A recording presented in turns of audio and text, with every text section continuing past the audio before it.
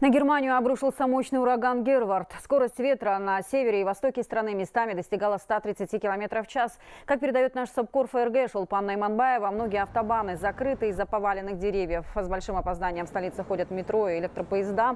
А ЖД-движение между Бременом, Ганновером, Дортмундом, Берлином и Гамбургом вовсе отменено. Пожарные и спасатели продолжают работать в усиленном режиме. Только в Гамбурге за ночь экстренные службы выполнили 550 выездов. Есть информация о тяжело раненых. Их количество количество не сообщается. Стражи порядка просят граждан не выходить на улицу без особой необходимости.